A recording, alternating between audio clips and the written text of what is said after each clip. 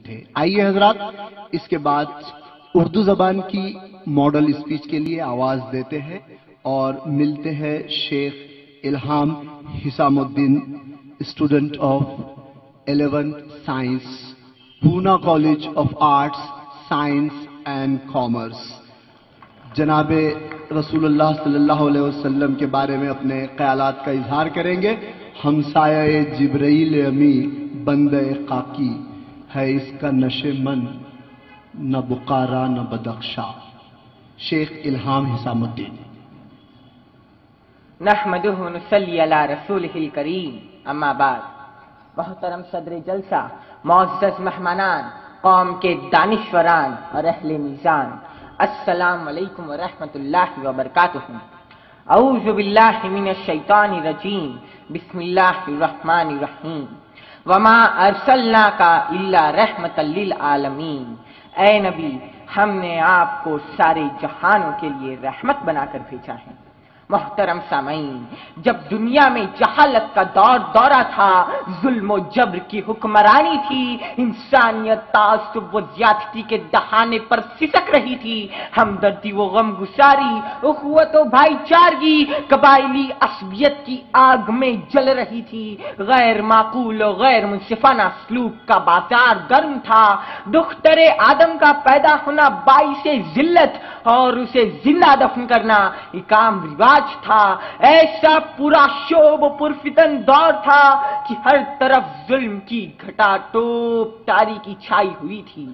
ہر طرف اندھیرا ہی اندھیرا تھا۔ وہ دور کیا تھا؟ ایک طویل کالی اندھیری رات تھی جس میں انسانیت، اخلاق و تمدن کے ایک جگنوں کی روشنی کو ترس رہی تھی۔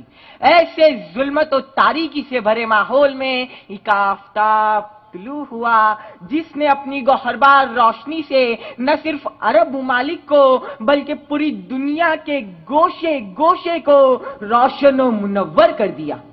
بے شک اس آفتاب کا نام نام گرامی محمد رسول اللہ صلی اللہ علیہ وسلم تھا۔ آپ کی آمد نے دنیا کو چونکا دیا۔ آپ گرچے بجاتے خود امی تھے، لیکن آپ نے دنیا کو وہ علم دیا جو حق و باطل میں واضح فرق و امتیاز کرتا تھا، جو انسانیت کی بقا کے لیے خیر و عافیت کی راہ دکھاتا تھا۔ روشنی کے امین ہے آقا، روح ماہ جبین ہے آقا۔ صرف ایک قوم کے نہیں ہے وہ، رحمت عالمین ہے آقا۔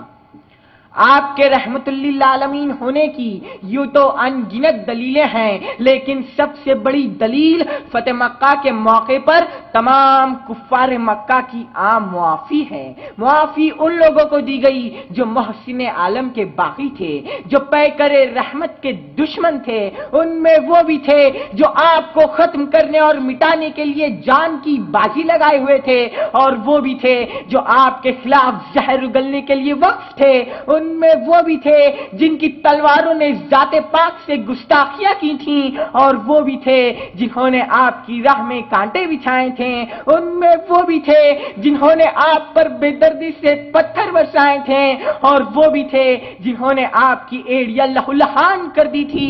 ان میں وہ بھی تھے جو آپ کے جانساروں کو تپتی ہوئی ریت پر لٹا کر چٹانوں سے دبایا کرتے تھے اور وہ بھی تھے جو ان کے کمزور و نحیف جسموں کو لوہے کی گرم سلاخوں سے داغا کرتے تھے۔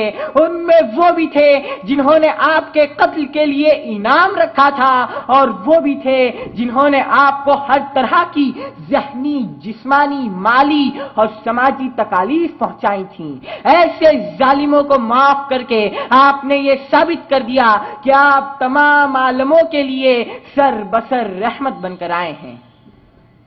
اگر آپ رحمت اللہ عالمین نہ ہوتے تو عام فاتحین کی طرح اپنے دشمن اور حریفوں سے اپنے اوپر کیے ہوئے تمام ظلم و ستم کا چن چن کر بدلا لیتے۔ اگر آپ رحمت اللہ عالمین نہ ہوتے، تو عام فاتحین کی طرح اپنے اقتدار کو قائم رکھنے کی حوث میں اپنے تمام حریفوں کو صفحہ ہستی سے مٹا دیتے۔ اگر آپ رحمت اللہ عالمین نہ ہوتے، تو عام فاتحین کی طرح بدر حنین کے قیدیوں کے ساتھ برا سلوک کرتے۔ اگر آپ رحمت اللہ نہ ہوتے، تو پہاڑوں پر معمور اللہ کے فرشتوں کو حکم دے کر شہر طائف کی زمین کو نیست و نابود کر دیتے، جہاں آپ کو اللہ کے دین کی دعوت پر نہ صرف یہ کہ بے عزت کیا گیا تھا، بلکہ آپ کے پیچھے آوارہ بچوں کو لگا کر آپ کو زخمی و لہولہان کر دیا تھا۔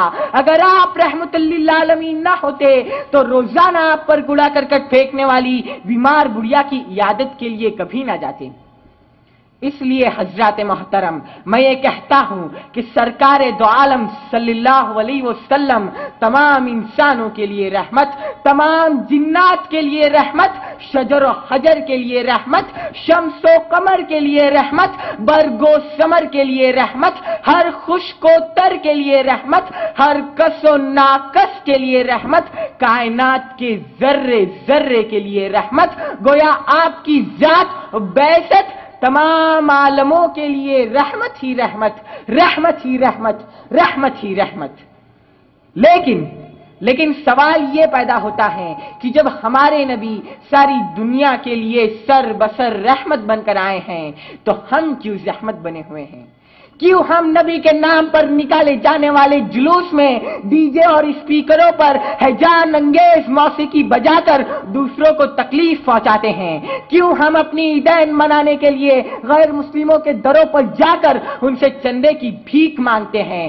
کیوں ہم وقت بے وقت مسجدوں کے میناروں پر لگے اسپیکروں پر مختلف اعلانات کر کے بچے، بوڑھے، ضعیف، بیمار اور غیر مسلموں کی نیندیں خراب کرتے ہیں؟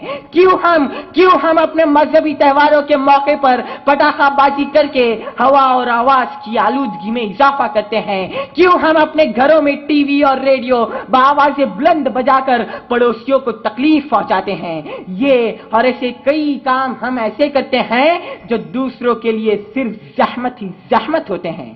آئیے، آج ہم سب مل کر یہ عہد کر لیں کہ آج کے بعد کوئی کام ایسا نہ کریں گے جو دوسروں کے لیے زحمت کا باعث بنے۔ اللہ تعالیٰ سے دعا ہے کہ اللہ ہمیں زحمت والی نہیں، بلکہ رحمت والی امت بنائے۔ آمین۔